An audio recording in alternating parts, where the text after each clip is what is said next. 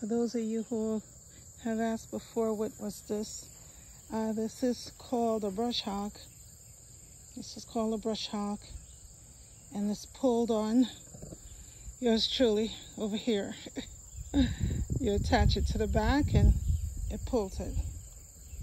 Uh, it's very, very expensive and it's not something that you want to get rid of because uh, it's well made.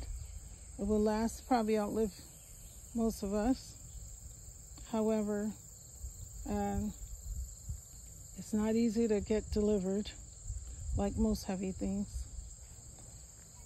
And to take care of the brush, uh, and uh, I'm not familiar with it until I came here because all I knew of was of a lawnmower. But now I know um, that it exists.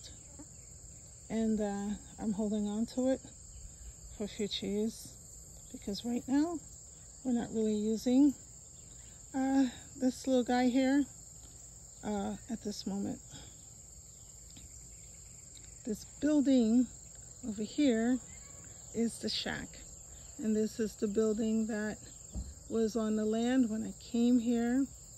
Um, and right now I'm using it for storage. The goal is really to knock it down, save the metal um, to repurpose and to build something else here uh, instead that uh, would be more useful long term and um, maybe even uh, create two structures here. It's pretty long. So it has a lot of room inside, believe it or not. Uh, let me go find out what this bench is doing up here. That's interesting. Why did they put this bench here? Let me see. Oh, interesting.